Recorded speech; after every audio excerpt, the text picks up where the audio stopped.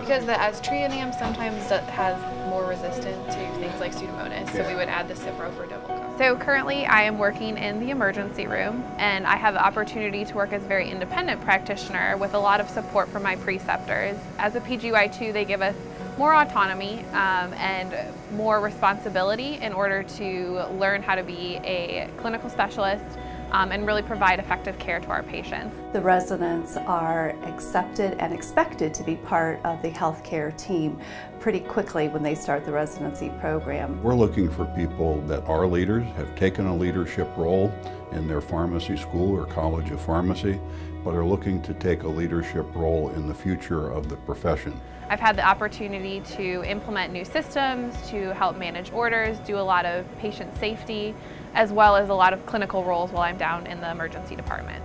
Well, I knew pretty early on that I wanted to specialize in informatics, pharmacy informatics.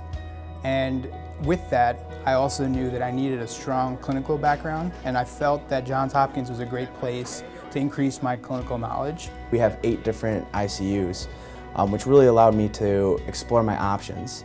And what was nice about Hopkins is they really let me get my experiences early to let me know what I really wanted to do with my career going forth with mid-year and early commitment. The residents expect to get some support from preceptors, but they're always surprised at the level of support that they get. The preceptors here want to make sure that you're comfortable and that Hopkins is a good learning environment for you. So they really take the time to make sure that you're comfortable and you're learning and they will tailor the rotation and the program to meet your needs. Literally every single person from the department is willing to just go out of their way and help the residency. And I really feel it's the culture that's created here. It says a lot about how proud the department is of their residency program and their residents. We're always doing really innovative things. I was on bone marrow transplant my PGY one year and we did the first ever simultaneous kidney bone marrow transplant and I got to be a part of that managing the patient's medications throughout the whole process. We have a robotic system that does a majority of